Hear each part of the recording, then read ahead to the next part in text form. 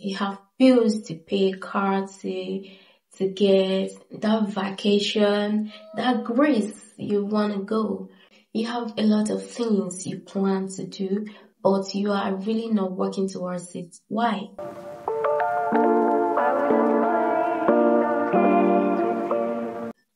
Hi guys, welcome back to my channel. It's so good to be here again. So today I actually plan to come, you know, all glamorous and, you know, everything bright, big.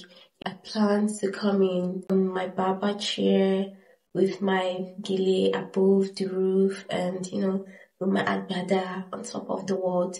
But somehow, somehow, my tailor disappointed me and yeah, I'm just here right now with this round neck shirt and you know, yeah, that's just by the way. So today I'm going to be talking about how to exit your lazy girl era.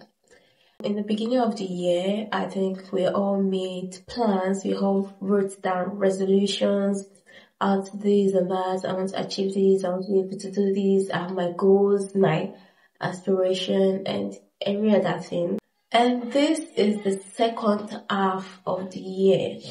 So my question now is, how many of these goals have you achieved? Don't get me wrong, I'm not trying to rush you, I'm not trying to pressurize you. I'm just here to ask the right questions. If everything is going as planned or if I should just mind my business. So if you have been planning all year, talking and not doing, putting in the actual work, then this is for you. I do not want you to keep being a sinner, which is why I'll be talking about things you can actually do to exit your lazy girl era. So the first thing is why? That is my first question. Like, why do you really want to achieve this thing? Why do you want to work on your goal? Why do you think you are not comfortable in the position that you're that you have right now, why do you want to make that change? I think these are the questions you should ask yourself and by asking yourself this question, you're able to get the right answer that you need. Like what are your intentions? What are your plan? What are you trying to achieve? This is, I think this is the only thing that can prep your mindset that can make you achieve these goals. And so you ask yourself this why question, then you might just write your goals down and not actually put in the work. So after asking yourself that question, this brings us to the second path, which is to start little.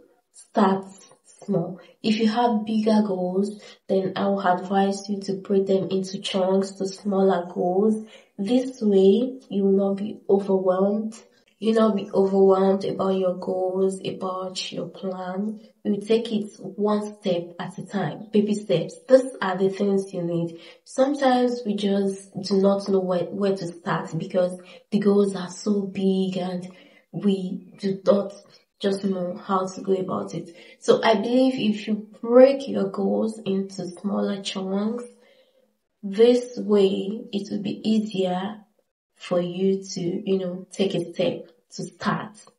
Another thing you need to do to get to exit your girl era is to make sure you have a morning routine.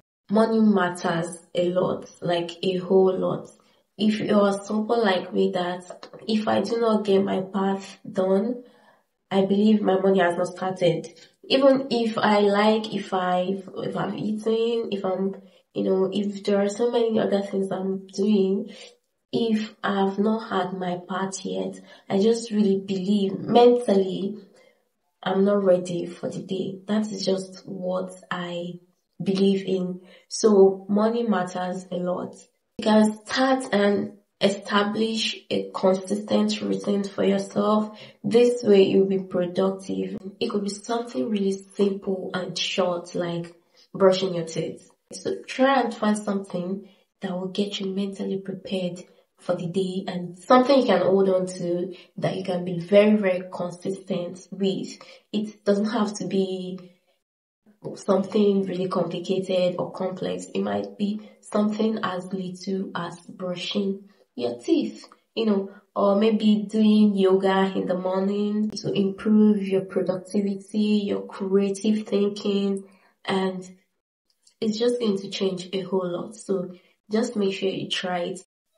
Another thing is cleaning your room. Sometimes when you are in a very disorganized room, your creative thinking is just, you know, it's nowhere to be found.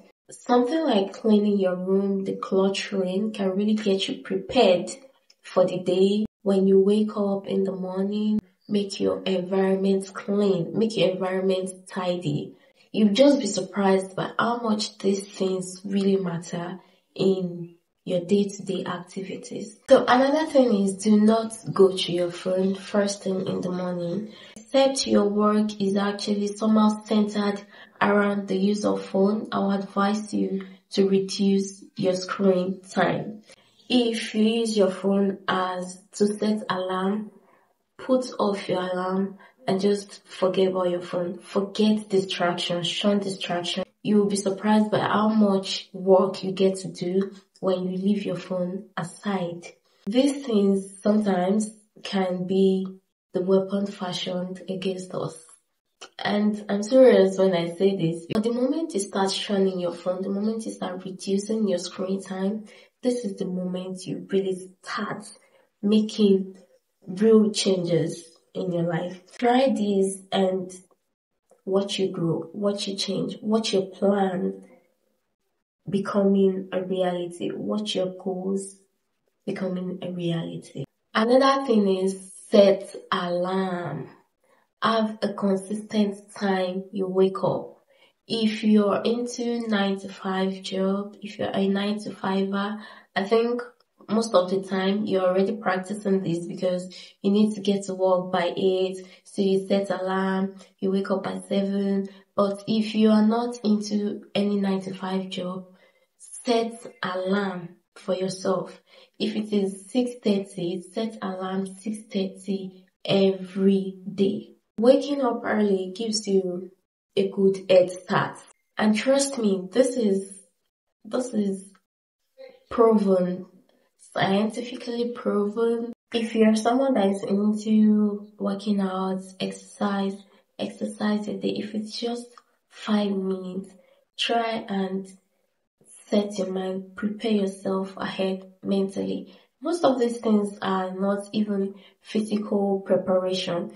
They are mostly mental preparation. You need to prepare yourself mentally for the day and these things are going to change.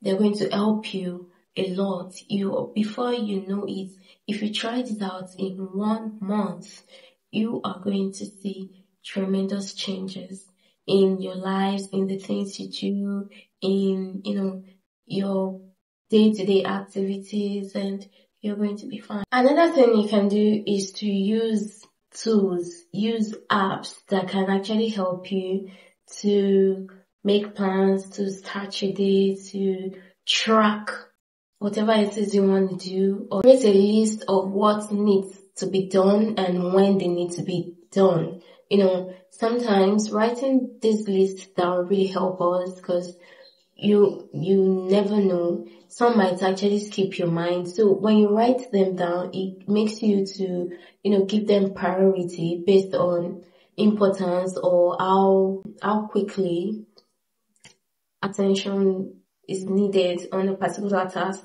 So it's good to write them down. So it saves you a whole lot of stress and it makes you focus on the writing at a particular time. Time management apps like Habit Tracker. You can use something like Notion to plan the things you really want to do, to list, to have a list of things you need to do in a day. And you know, you just follow it up. Try and follow it up. Try and break this work into priorities and see how this unfold. If you have not started using an app, maybe you should start and you can download Habit Tracker. This is not a paid advert or anything like that. This is just one of the things I use to plan my day, to plan my work, and they've actually been working for me. So I just really believe if you try these out, it's really going to help you. These are just habits we need to inculcate just for us to be able to do the things we really want to do, to be able to achieve the things we plan to. Yeah.